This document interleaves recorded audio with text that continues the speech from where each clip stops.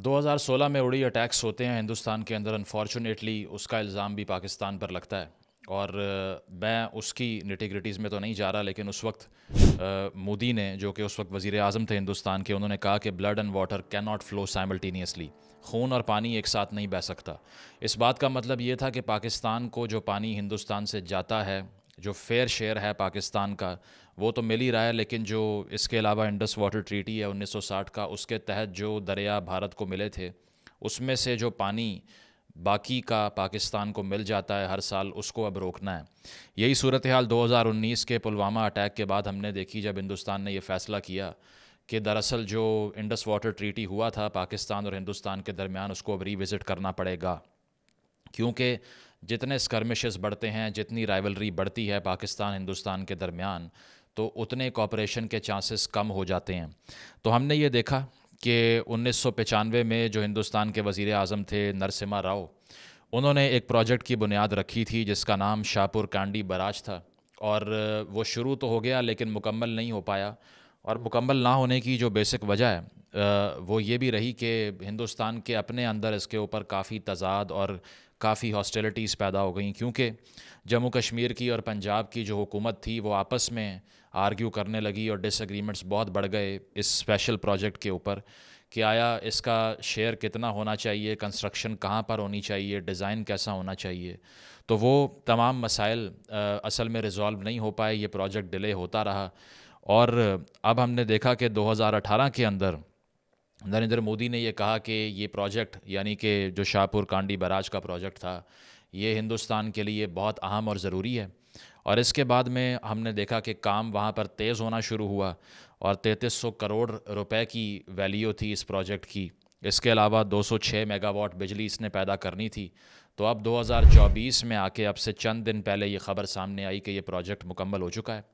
इसीलिए रावी में जो पानी हिंदुस्तान से आया करता था वो भी अब नहीं आएगा। और मुकम्मल तौर पर भारत से रावी को जो पानी मिलता था हर साल, वो अब बंद कर दिया जाएगा which is officially calling for the death of Ravi river जिसके किनारे पे लाहौर शहर को बसाया गया था, जिसकी एक बहुत पुरानी तारीख़ है। तो आप सबको शायद अंदाज़ा ना हो इस बात का कि रावी का जो ज़िक्र है, वो वेदास के अंदर भी आता है, जो कि हिंदू स्क्रिप्चर है। और एरावती और पुरुषनी के नाम से ऋग्वेद में इस दरिया का ज़िक्र किया गया है।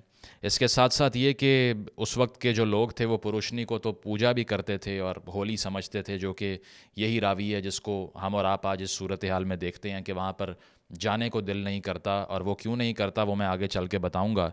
इसके साथ साथ हिस्ट्री ये भी बताती है कि जब एरियंस यहाँ पर आए थे और उन्होंने यहाँ पर जो लोकल्स ने कनाल्स बनाई हुई थी, नहरें और बैराज बनाए हुए थे, रावी के ऊपर उनको तबाह कर दिया था। साथ साथ ऋग्वेद के अंदर भी ये मैंशनड है कि जो गॉड इंद्रा का ज़िक्र है और जो इंद्रा था, उसने एक सरपेंट को कत्ल किया, यहाँ पर डिस्ट्रॉय किया, जो कि रावी को कंट्रोल कर रहा था। तो ये जो एंशियंट स्क्रिप्चर का टेक्स्ट है हिंदुज़म का, उसके अंदर भी इस दरिया की तारीख़ है। ये इतनी पुरानी सिविलाइजेशन का एक बेसिक फ़ीचर था। और अब वो लाहौर जहाँ पर हम और आप रहते हैं और जिसकी एक बहुत बड़ी इकोनॉमिक पोटेंशियल भी है, वो दरअसल उसके वजूद में आने का एक सबब भी रावी था कि दरिया किनारे शहर बसाया करते थे लोग। जिस तरह से हम देखते हैं कि हटसन रिवर है न्यूयॉर्क में टेम्स है यूके के अंदर। और इसी तरह लाहौर जो है वो रावी के लिए मशहूर था, लेकिन अनफॉर्चुनेटली शायद चंद सालों बाद हम ये बात भी ना कर सकें, क्योंकि जब रावी का वजूद ही ख़त्म हो जाएगा तो फिर लाहौर की वो सेंस जो कि रावी से एफिलिएटेड थी वो भी ख़त्म हो जाएगी अनफॉर्चुनेटली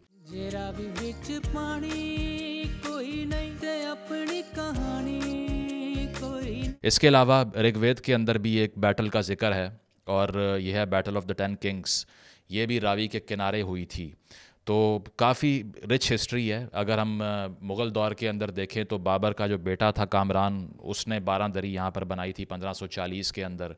और कुछ दरबार, होली साइट्स भी इसके अराउंड आज भी मौजूद हैं। हमने ये भी देखा कि अब भी लोग वहाँ पर जाते हैं लाहौर में इस बारह दरी का विज़िट करने के लिए। लेकिन वहाँ पर चूँकि इतने बुरे हालात हैं, इतनी स्मेल और इतना सेवेज का पानी है कि उधर बहुत से लोग तो इसीलिए जाना अवॉइड करते हैं कि बजाय एक पिकनिक के वो मज़ीद जो है वो कपड़े गंदे हो जाएँगे और सूरत हाल ख़राब हो जाएगी जाके। क्योंकि वहाँ पर एक इन्वायरमेंट की कैटेस्ट्रफी दिखाई देती है। इसके साथ साथ जो ओरिजिनेशन है रावी की, वो हिमालयस के अंदर होती है हिमाचल प्रदेश में। फिर ये जम्मू कश्मीर की बाउंड्री से होता हुआ लाहौर आया करता था और फिर ये वेस्ट में जाते हुए कमालिया से जनाब को ज्वाइन करता था। लेकिन अब चूँकि पानी का फ़्लो इस कदर कम हो चुका है तो अब तो कुछ कह नहीं सकते कि आने वाले दिनों में ये नज़र भी आएगा या नहीं। उसकी वजह यह है कि पाँच परसेंट पानी पहले आ रहा था हिंदुस्तान से इस रावी के अंदर। नाइन्टी फाइव परसेंट तो इसलिए नहीं आ रहा था क्योंकि इंडस वाटर ट्रीटी में आपने रावी दे ही हिंदुस्तान को दिया था। अयूब ख़ान जो डिक्टेटर थे, जिन्होंने बग़ैर किसी नेशनल कंसेंसस को डेवलप किए, अपनी मर्ज़ी का अग्रीमेंट साइन कर दिया। वो और बात है कि बहुत से लोग ये कहते हैं कि इसका ज़्यादा फ़ायदा पाकिस्तान को हुआ, लेकिन फिर भी अगर पार्लियामान ना हो, अगर आवाम की राय शामिल ना हो तो कोई भी फ़ैसला, चाहे वो अच्छा हो या बुरा हो, आवाम को रिप्रेजेंट नहीं कर सकता। तो उस फैसले के तहत अब से 1960 से लेकर 2024 तक पाँच परसेंट पानी हिंदुस्तान छोड़ रहा था रावी के अंदर 95 परसेंट को यूटिलाइज़ कर रहा था। ये पाँच परसेंट भी तकरीबन दो मिलियन एकड़ फीट बनता है। यानी कि 20 लाख एकड़ फीट। अब ये 20 लाख भी बंद कर दिया जाएगा। तो 1948 में हमने देखा था कि भारत ने जब कश्मीर वॉर हुई पहली, पाकिस्तान ने जाके इनिशिएट की तो इसके बाद पानी बंद किया पाकिस्तान का तो बहुत मसला पैदा हो गया। यहाँ पर एक कहत साली की सूरत हाल होने का ख़दशा पैदा हो गया। तो जना साहब ने अपने जो कैबिनेट के कुछ लोग थे, अहम लोग थे, पॉलिटिशियंस थे, दौलताना साहब भी थे और लोग भी थे, उनको भेजा हिंदुस्तान निगोशिएट करने के लिए। अब डिसएडवांटेज पाकिस्तान का ये है कि इंडिया अपर राइपेरियन है और पाकिस्तान लोअर राइपेरियन है। इसका मतलब ये है कि पानी हिंदुस्तान से पाकिस्तान की तरफ़ बहता है, यहाँ से वहाँ नहीं जाता, इसीलिए it is totally there will कि वो कब इसको रोक दें। तो इस 1948 के इवेंट के बाद पाकिस्तान ने जब आलमी कम्युनिटी के सामने भी एहतजाज किया तो टॉक्स शुरू हुई यूएन के अंदर भी बहस शुरू हुई और फिर यूएन की रिकमेंडेशन पे वर्ल्ड बैंक के साथ मिलके पाकिस्तान और भारत ने 1960 में इंडस वाटर ट्रीटी को साइन किया, जिसके तहत पाकिस्तान को चनाब मिला, इसके अलावा दरिया सिंध यानी कि इंडस मिला। Now Indus is the biggest river of the region और सबसे ज़्यादा लॉन्गेस्ट और सबसे ज़्यादा पानी का रेजरवायर जो है वो इंडस के थ्रू फ्लो करता है, जो पाकिस्तान को दिया गया। आपने अगर देखा हो तो गिलगित से ये शुरू होता है। और across the the entire geography of Pakistan ये फ़्लो करता है। और इसके अलावा जेलम पाकिस्तान को मिला। हिंदुस्तान के हिस्से में रावी सतलुज और ब्यास आए। तो इस तरह से 1960 में ये माहा तय हो गया। अब इस माहे के तहत आप देखिए कि पाकिस्तान को इंडस वाटर सिस्टम के जो छः दरिया हैं, इसमें से 80 परसेंट पानी दिया गया। 80 percent of the water which is 135 million acre feet 135 million acre feet Pakistan को मिला। भारत को मिला 35 million acre feet which is 20 percent of the entire Indus river system तो छः दरियाओं का 20 फ़ीसद भारत को 80 फ़ीसद पाकिस्तान को मिला। लेकिन उसके बावजूद आप देख लीजिए कि पाकिस्तान ने क्या फ़ायदा उठाया, उसका कुछ भी नहीं। उसकी वजह है कि डेवलपमेंट सेंट्रिक तो इकॉनमी बन ही नहीं सकी ना। शुरू से लेके हुक्मरान तबके के दरमियान में लड़ाई ख़त्म नहीं हुई। शुरू से लेके आज तक ये साबित नहीं हो सका कि क्या डेमोक्रेट्स ने रूल करना है, डीप स्टेट ने करना है इस्टेब्लिशमेंट ने करना है, किसने करना है। तो अभी तक उसी इकतदार की चपकलिश के अंदर ये तयन नहीं हो पाया कि इन रिसोर्स का फ़ायदा उठाने के लिए स्टेप लेना किसने है। कभी हम ये हम सुनते रहते हैं द्यामर भाषा डैम बन रहा है। कभी हम कालाबाग डैम की बातें मुशरफ दौर में सुना करते थे। कभी हम साकिब निसार साहब के डैम की बातें सुनते थे, जिसके लिए लोगों ने अपनी तनख्वाह कटवा के उसको फ़ंड किया और बाद में आइडिया ये हुआ कि उसकी तशहर में और उसकी अशात के अंदर या फिर उसकी जो उसकी मशहूरी है, उसमें ज़्यादा पैसे लग गए, जितने इकट्ठे हुए उससे ज़्यादा। और बाद में उन्होंने कहा कि मैंने तो अवेयरनेस के लिए ये सारी बात शुरू की थी, डैम बनाना तो मकसद था ही नहीं। तो इस तरह का चूना लगाते रहे हैं हिस्टोरिकली हमें। तो ये 80 परसेंट जो इंडस सिस्टम का पानी हमें मिला, इसको यूटिलाइज़ करने में मुकम्मल तौर पे हम फेल हो गए। एक रिपोर्ट के मुताबिक 29 बिलियन डॉलर्स वर्थ का पानी हर साल पाकिस्तान से गुजर के अरेबियन सी में गिर जाता है। यानी कि हम और आप उनतीस अरब डॉलर ज़ाया करते हैं इस पानी के आगे बंद ना बाँध के डैम साइट्स ना बना के, इसके अलावा स्टोरेज साइट्स ना बना के डैम नहीं बनाते और जो दो तरबेला और मंगला डैम हमारे पास हैं, दिन ब दिन वो सिल्टिंग का शिकार हो रहे हैं। उनके अंदर जो सिल्ट है, जो सैंड है, उसका लेवल बढ़ता जा रहा है, स्टोरेज कैपेसिटी कम होती जा रही है और बैठ के इंतज़ार कर रहे हैं तबाही का। तमाम रिपोर्ट्स ये कहती हैं कि अगले दो से तीन साल में पाकिस्तान वाटर स्कैरसिटी का ऑफिशियली शिकार हो जाएगा। इसके साथ साथ अगर देखा जाए तो ये जो अग्रीमेंट हमने साइन किया था, ये भी मसाइल का शिकार हो गया, क्योंकि ये भी कुछ लोगों ने कहा कि नेहरू साहब ने ये साइन किया था, जो कि हेड ऑफ़ द स्टेट नहीं थे, वो तो सदर थे उस वक्त के। साथ साथ ये भी कि पाकिस्तान ने जो पहला एक कंसिडरेबल एहतजाज किया, इसके ऊपर वो किशन गंगा डैम के ऊपर था और रातले हाइड्रो पावर प्रोजेक्ट के ऊपर था। अब किशन गंगा चूँकि जो पाकिस्तान का शेयर था रिवर्स का, उसके रास्ते में बनाया जा रहा था, इसीलिए पाकिस्तान का केस भी जनवन था। लेकिन चूँकि इंटरनेशनल पावर आपके पास नहीं है, इसीलिए आपकी जो नेगोशिएट करने की ताकत है या जो परसुएड आप करने की ताकत है आलमी कम्युनिटी को, वो ना होने के बराबर हो चुकी है। उसकी वजह यह है कि इंटरनेशनल कम्युनिटी तो आपकी जो नेशनल पावर है, उस लिहाज से आपको वे इन करती है। वो जस्टिस वगैरह को बहुत दूर से, बहुत बाद में देखती है। वो हम और आप इस पर मातम कर सकते हैं कि वहाँ पर इंसाफ नहीं होता, लेकिन वो इसलिए नहीं होता कि आपके पास इंसाफ लेने के लिए भी ताकत मौजूद नहीं है। तो वर्ल्ड बैंक ने उनके हक में फ़ैसला किया और आप किशन गंगा को ना रुकवा सके, जो कि नीलम रिवर, जो पाकिस्तान में कश्मीर से आता है, उसके रास्ते में बनाया गया। कुछ नहीं कर सके। इसके साथ साथ एक प्रोजेक्ट था जिसका नाम तुलबुल था। 1987 में पाकिस्तान के एहतजाज पे उसको बंद तो कर दिया। अब कहा जा रहा है कि उसको भी रिव्यू किया जाएगा। इसके अलावा पाकिस्तान ने भी एलबीओडी के नाम से, यानी कि लेफ़्ट बैंक आउटफॉल ड्रेन के नाम से रन ऑफ़ कुछ से जो गुज़रता है ड्रेन वहाँ पर पाकिस्तान ने एक स्टोरेज साइट बना ली। हिंदुस्तान ने इस पर एहतजाज किया।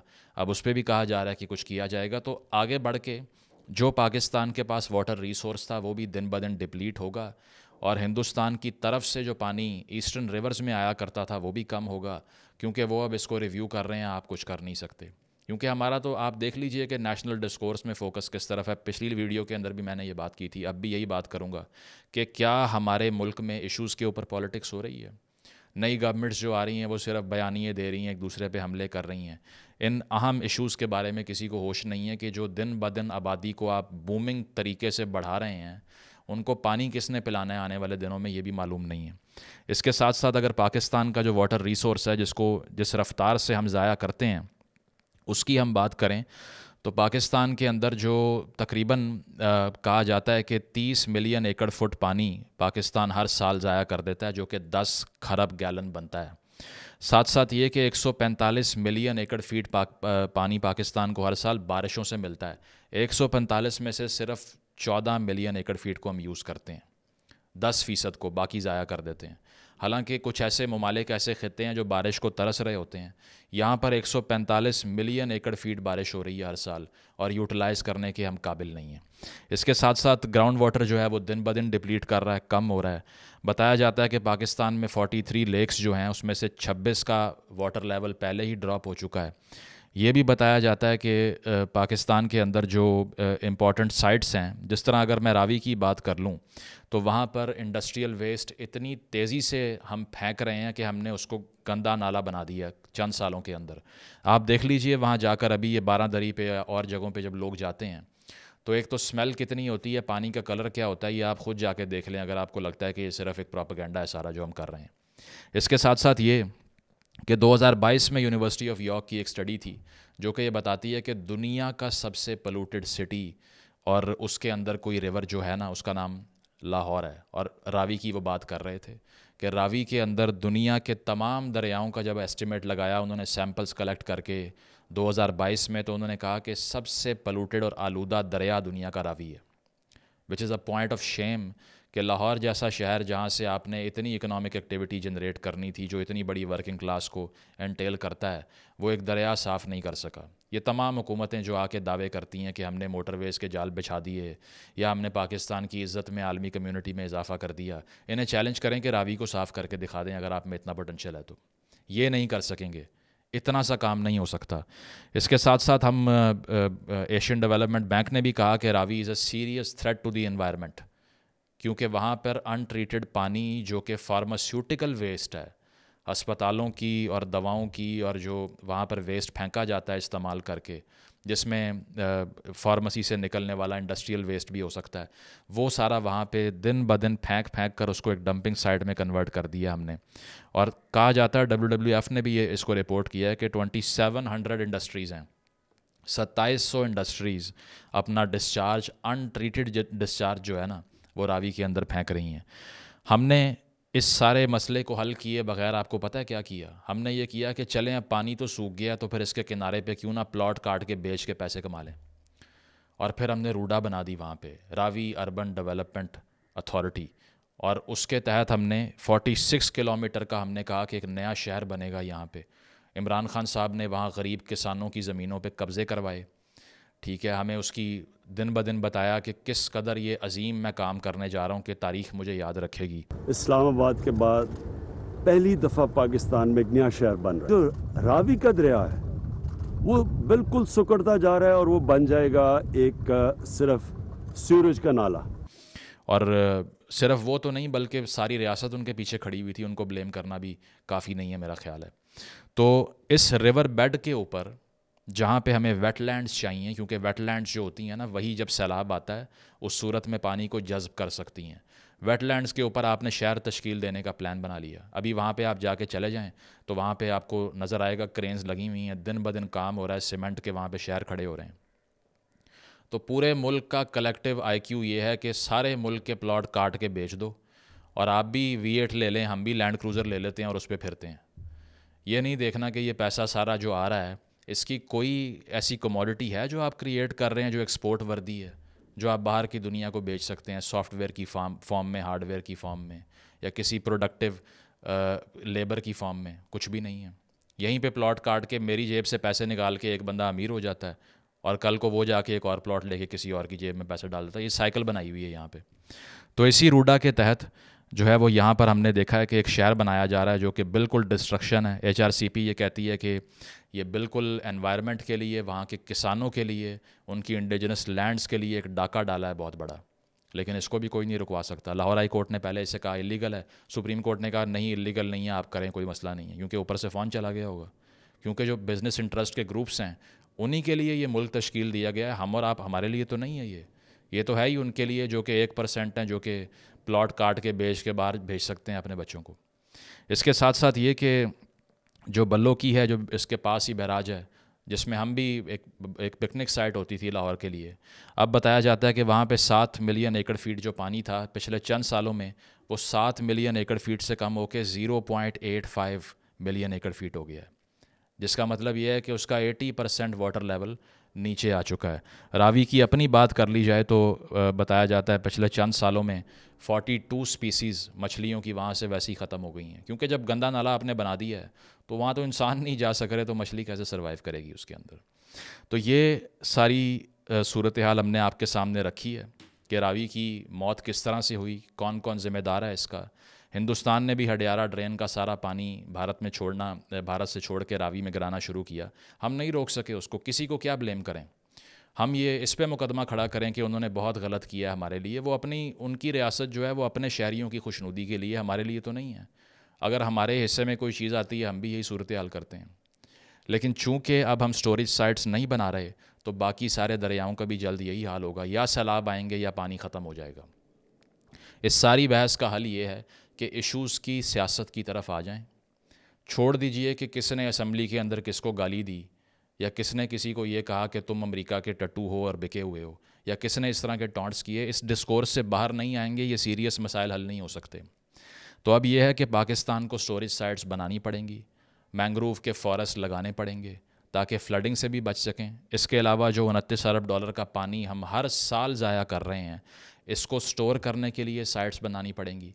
पॉलिटिकल कंसेंसस लाने के लिए जिसमें सूबे एहतजाज ना करें जब किसी डैम के बनाने की बात हो तो सबको एक जगह बैठा के बात करवानी पड़ेगी, ना कि उनके घरों में छापे मारें अगर वो सदर के कैंडिडेट बन जाएँ तो। तो जब तक ये पेरेफरीज के साथ हम ज़्यादतियाँ बंद नहीं करेंगे कंसेंसस नहीं डेवलप हो सकता। इसी तरह ये वाटर रिज़र्व्स डिप्लीट करते रहेंगे फ्रेश वाटर कम होता रहेगा। दुनिया में सबसे ज़्यादा ग्लेशियर इस खत्े के अंदर हैं जो कि सबसे तेज़ी से पिघल रहे हैं। जो कि कटेस्ट्रफी हो सकती है। तो लीवन कहता है अपनी किताब में कि पाकिस्तान सबसे ज़्यादा डिस्ट्रॉय होने का जो इम्कान है ना, जो पाकिस्तान को डिस्ट्रॉय कर सकता है, वो इसराइल या भारत या अमेरिका नहीं, वो एनवायरनमेंट है। तो इस एनवायरनमेंट से लड़ने के लिए जो प्लान चाहिए, वो आज से बनना ना शुरू किया तो फिर पाकिस्तान एक सिटिंग डक है इसके सामने। यहाँ पानी या ख़त्म हो जाएगा, या अर्बन फ्लडिंग शुरू हो जाएगी। इसको रोकने के लिए नेशनल डिस्कोर्स पैदा करना पड़ेगा। Thank you